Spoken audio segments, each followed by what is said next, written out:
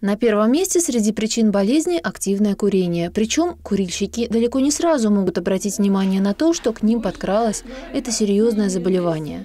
Появляется у пациента одышка, значение которой он не придает. Со временем присоединяется кашель. Кашель э, может быть сухим, но, как правило, он происходит с отделением мокроты по утрам. Слизистый, светлый мокрота в небольшом количестве. А, пациент списывает на любые заболевания, любые причины, но на первых стадиях к врачу не обращается.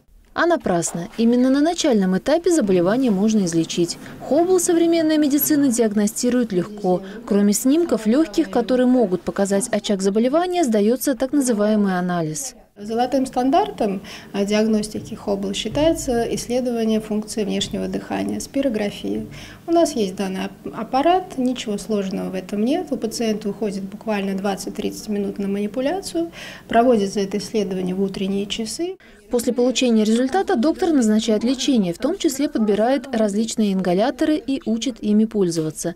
В основном эти приборчики легки в применении и быстро оказывают необходимое действие.